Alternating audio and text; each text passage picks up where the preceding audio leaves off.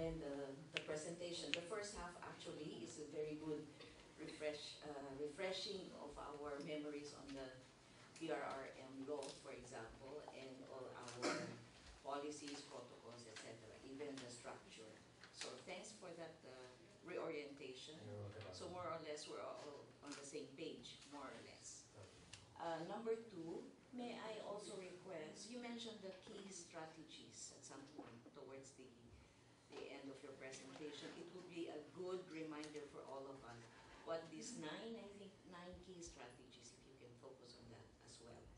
The last two slides, or the last slides on the, uh, more or less on how to define the institutionalization that you mentioned in your, the title of our activity. I would like to uh, say that the, for number one, for example, your NDRRM plan has not received the same treatment Philippine Development Plans, for example, where translation to programs and projects can be funded and implemented. So that's one thing I'd like to ask, why kaya? Bakit kaya?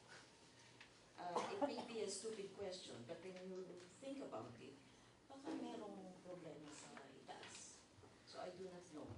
Um, I do not know if there's a certain kind of consistent or common appreciation on DRRM. As PIDS is into policies and things like that, maybe you can help us, um, how do I Understand go- that. understand us that better or for our legislators to be very specific to understand what DRRM would mean and what it would entail. uh, Okay.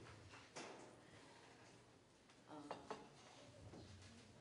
Number two, with uh, Leslie's comment about the of your comments, for example, or, or how it would complement what has been done in the Sunset Review, uh, yes, we would like to know how it can also be of value to existing activities ongoing still regarding the outputs of the Sunset Review. Because right now we have a bill, several bills that you have mentioned. Maybe this is where the body, this whole body can help us push for, uh, maybe push our legislators to act on these bills. Specifically on the one which has gone through, a, a bill which has gone through um, series of consultations. Pauline is looking at me because he was, she was part of that uh, consultative process. I forgot to mention who I am. I am G. si Gigi Alvarez. Pag matanda na, madami na nakakalimutan. And I'm sorry why, why my voice is doing this, no? Pag matanda na, ganyan yata yung boses, and you have to with me. Robert, huwag kang tatawa-tawa. But really, uh, the, the process was really very, it's not really slow, but it was there for a while. It was ongoing, and we came out with something very concrete.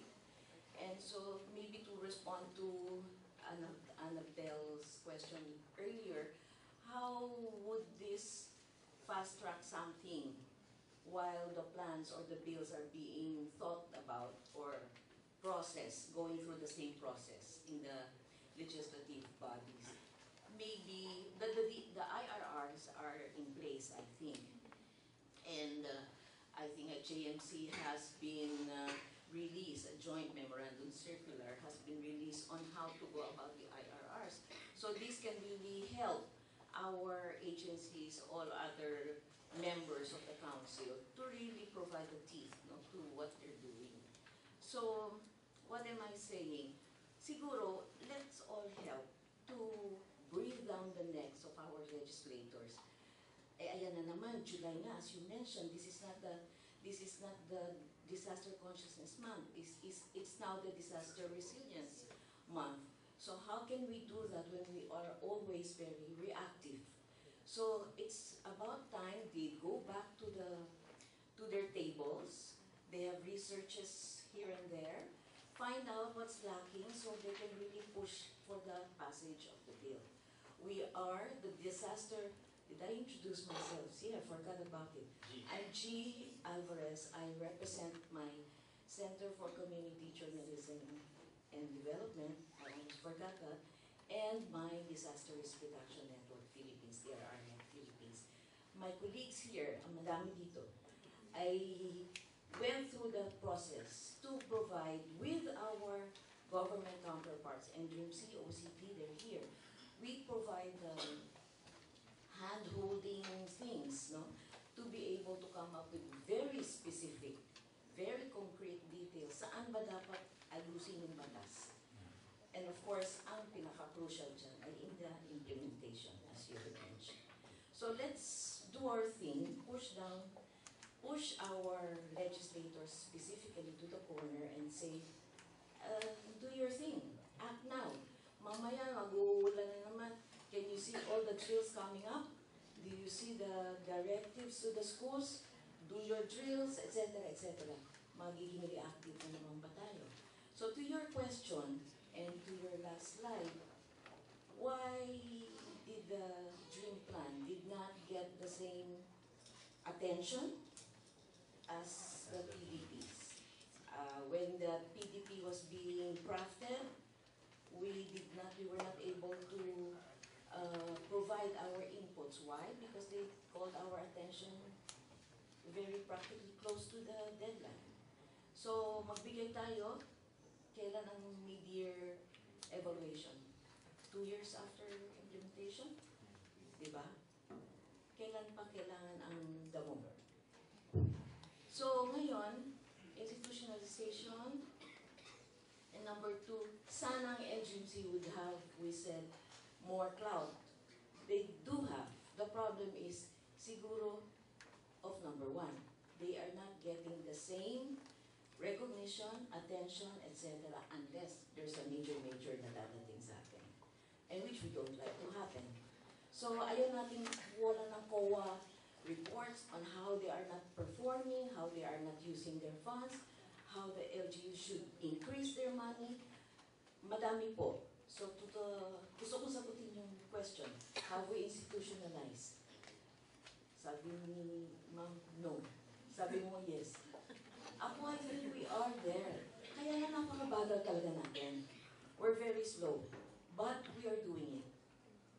Most of us here will have, will have to admit, we're doing our thing. Di ba? We're contributing. Pero medyo matagal talaga. So what do we do really to hit the nail on the head, so to speak? Ano bang gagawin natin? So if your key strategies, for example, can be given again to us, I was trying to capture it sa aking ano, parang hindi ko na mabasa yung kinunan ko ng picture. Maybe we can go line by line and find talaga ba ginawa na ito? Etc. Yes. That actually was, uh, That's where, where our partici- participation can come in. We are all members of some organization here. We have to do our thing to be able to contribute to the creation of the policy that will provide more teeth to all what we.